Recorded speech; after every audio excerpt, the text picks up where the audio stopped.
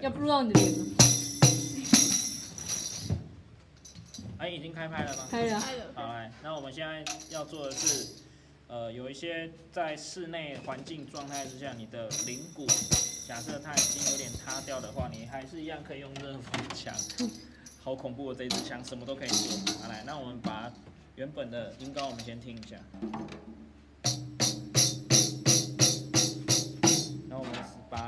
个皮的张力再把它弄高一点，同样用比较低温的方式，切记十二岁以下的小朋友禁止独立操作，还有没有脑袋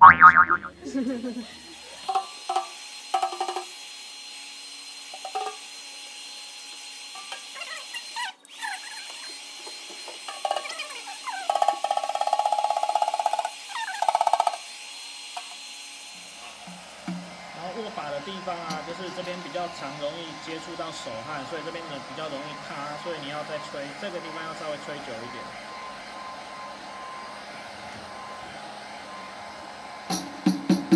听到音高，好，所以吹完之后它的音高会变这样，超级硬，大家又可以再撑两个礼拜。假设你们继续放在。那个，这个是过干的状态，所以你们下一个礼拜来的时候，它的它的皮的硬度会差不多干好硬哦！好，谢谢大家，谢谢小帮手。